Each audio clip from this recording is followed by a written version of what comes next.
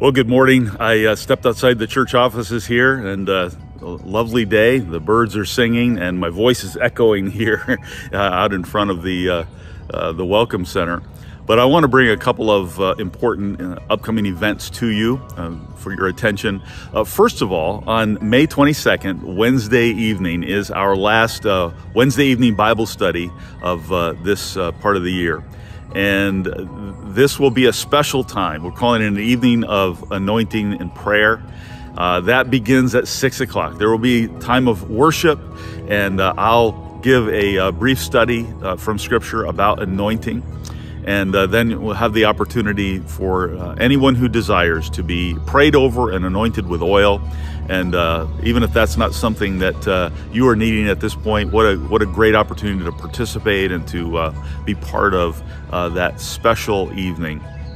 And of course, it will be preceded at 5:15 by our usual dinner. That is first come, first serve, and and so it's five dollars a person.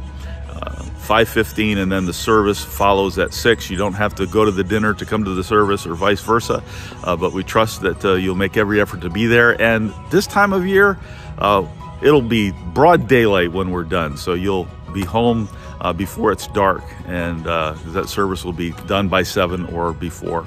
So look forward to seeing you on Wednesday. Prior to that, this Sunday's services, uh, one, one uh, additional element of that, at the end of the service, the ushers will be at, door, at the doors with cowboy hats, and uh, they will be accepting donations in those cowboy hats that will go toward uh, the loan that with which we purchased the 10.4 acres of land. Uh, God has been so good.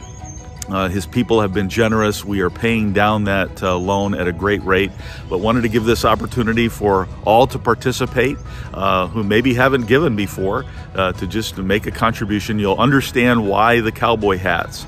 Uh, that, that, during the service that will be explained in our announcement time, so you'll you'll know more about that and its history. But to, just to give you uh, an advance understanding of what will take place this week. We look forward to uh, worshiping together. I'll be continuing my series through Genesis and um, uh, looking forward to what God has in store for us, uh, expectantly, expecting Him to meet us there. Let me pray as we begin this day. Uh, Lord, thank you so much for uh, your grace and love and mercy. You are the Creator God who loved us so much.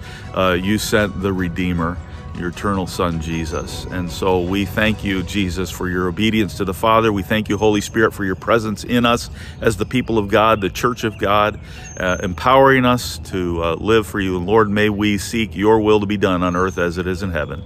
In Jesus' name, amen. God bless you.